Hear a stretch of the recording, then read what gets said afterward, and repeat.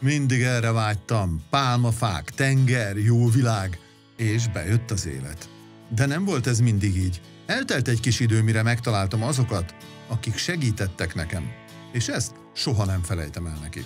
Már vállalkoztam egy ideje, de hiába voltak jó ötleteim, sehogy nem jutottam előrébb. Bármilyen új dologba kezdtem, valahogy elhalt a fejlesztés, és többnyire el is buktunk vele. Egy idő után kételkezni kezdtem magamban. Képes leszek valami újat adni? Érdekes lesz ez valakinek? Honnan kaphatnék segítséget?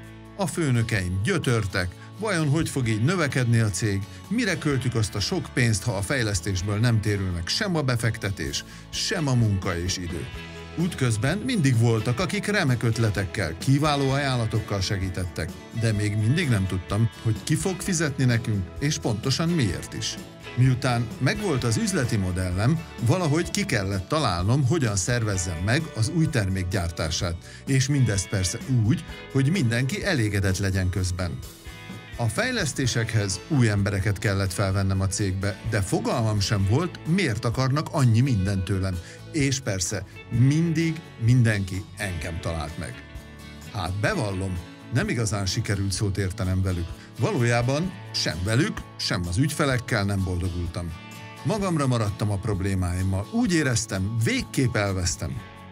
Mikor végre minden rendbe jött, igyekeztem értékesíteni, amit fejlesztettünk. Sajnos hamar kiderült, hogy nem csak nekünk van jó ötletünk. Hiába próbálkoztam, nem tudtam kitűnni a tömegből. Lassan haladtak az eladások, senkinek nem kellett az új fejlesztés. Csapdába estem. Azt hiszem, sohasem felejtem el, hogy az ITD Innováció Management képzése kivezetett ebből a helyzetből. Emlékszem arra az érzésre, ahogy már menet közben elértem a magam üzleti sikereit, és ahogy megtaláltam az utam, ami ide vezetett. Jelentkezz hát most te is!